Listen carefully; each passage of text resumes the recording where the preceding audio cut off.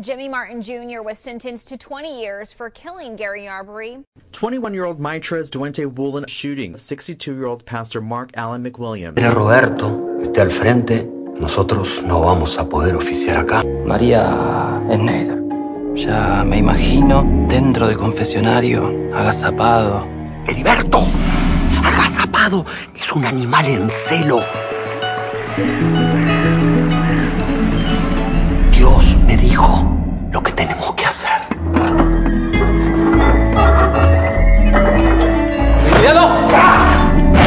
Puedo imaginar otro destino para nosotros dos.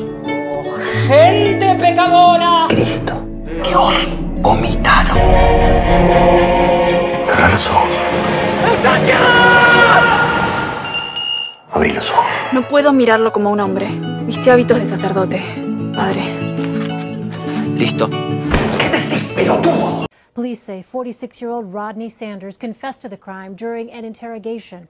He gave no reason for the crimes. The sheriff of Holmes County said police work and tips led police to Sanders, and the investigation is still ongoing. A memorial mass is scheduled for Monday for sisters Margaret Held and Paula Merrill.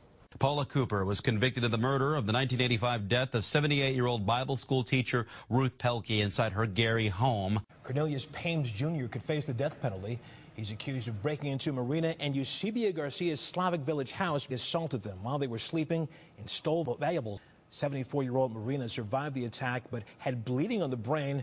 Her mother, Eusebia, died from her injuries. 66-year-old Gavin killed Caballero, and at least two other women. Stephen Caballero discovered his mother's body inside her apartment, a telephone cord wrapped around her neck. We want justice. We want action. Suspect, Sharif Alman, A 47 year old man opened fire, killing three and wounding six.